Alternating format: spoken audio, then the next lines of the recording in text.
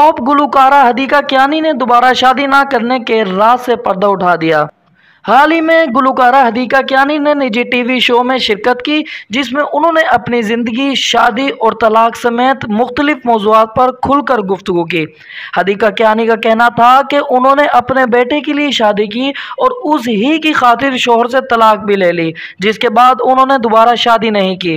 गुलकारा ने बताया कि अक्टूबर 2005 के खौफनाक जलजिले के दौरान मैंने ईदी फाउंडेशन से एक बच्चा गोद लिया था, जिसका नाम मैंने नादे अली रखा। बच्चे को गोद लेना मेरी ज़िंदगी का सबसे हसीन तजर्बा था और मैं अपने बेटे के लिए बहुत हसास हूँ। उनका कहना था कि नादे अली की परवरिश में कोई कमी ना रहे और उसे बाप का प्यार देने के लिए मैंने शादी करने का फैसला किया और एक बरतानवी ताजिर से शादी कर ली।